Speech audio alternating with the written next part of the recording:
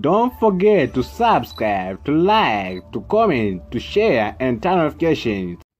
As we heading for today, friendly international game between Morocco women versus Zambia women, CHAL TV has brought you an important update about this match, whereby we only focus on last matches for both two team, two team, especially Morocco women and Zambia women.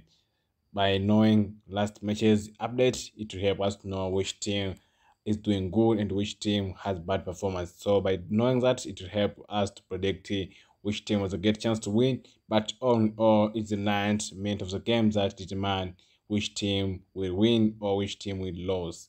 Also, maybe there can be a draw.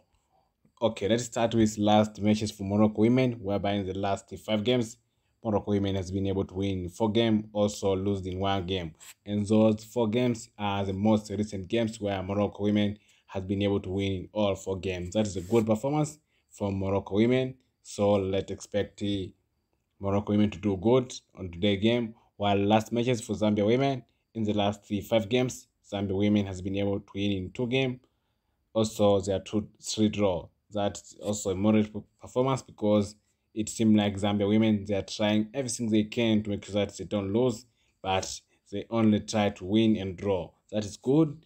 All in all, that is Morocco women versus Zambia women match. Let's wait for the final. Please to know which team will win.